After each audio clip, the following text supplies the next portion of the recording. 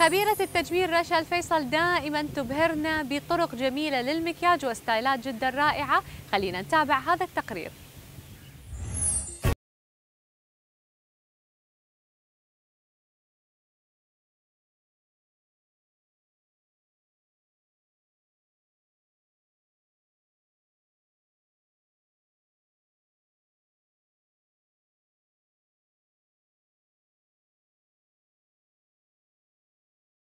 مرحبا متابعين قناة الشرقية. معاكم رشا الفيصل خبيرة التجميل. طبعا عندنا فقرة اليوم جدا مهمة اللي هي شعر الإكستيشن الطبيعي. اليوم راح نحكي لكم عنه ونشرح لكم شنو الفوائد. وإن شاء الله يا رب تستفادون أول خطوة راح نبدي نغير اللون نسحب الألوان اللي هي خالتها الحمارات.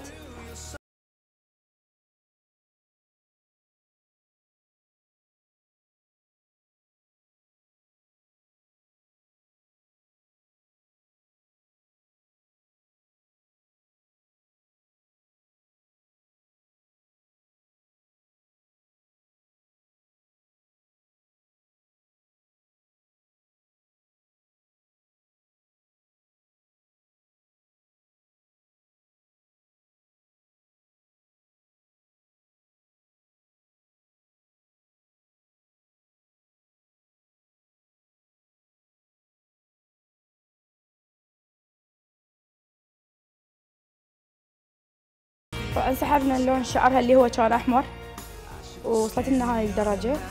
فإحنا راح نغمق على لون خضار ننطيه اللي هو ألوان ال Chanel. بعدين راح نخلي لها اللون ال extension اللي هو البلاتيني واللون ال Chanel حتى يرهم وحتى ما يبين إنه شعرها قصير حتى يتداخل ويا ال extension وينطينا لونين حلوين. أول ما نجرب لنا لون خصلة قبل لا نبدي.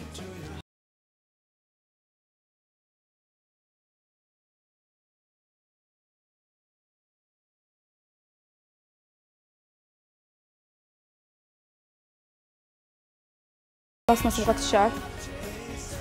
وسوينا لونين شعر صبغنا الشعر الاكستيشن سوينا لونين سوينا اللون البلاتيني واللون تقريبا العسلي. وراح هسه نشتغل بالكوكي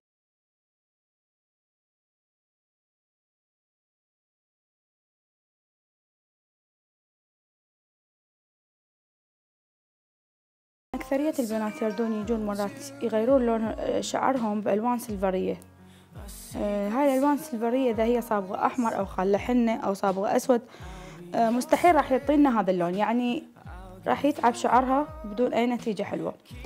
فإحنا شنو ننصحهم؟ نخلي نخليهم شعر الاكستيشن بنفس الوقت يعطي جمال لأنه حينطي طول وثقل واللون اللي هو عاجبهم.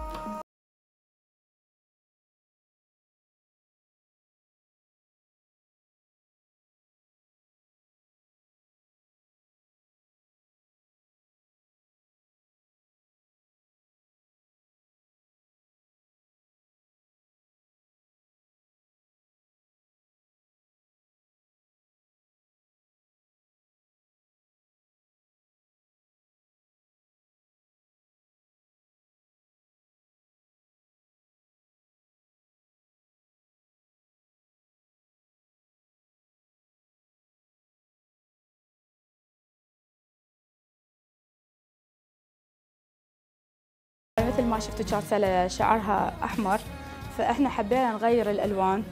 ودائما إحنا الزبون ياخذ ذوقنا لأنه إحنا راح نشوف منو اللي يلائم هالبشرتها طبعا اختارينا هذا اللون سحبناه سحبة بسيطة وغيرنا لون الجذر ضفنا له ال extension اللي هو بلون شعرها وضفنا له لون البلاتيني اللي هو داخلناه بلون الشعر.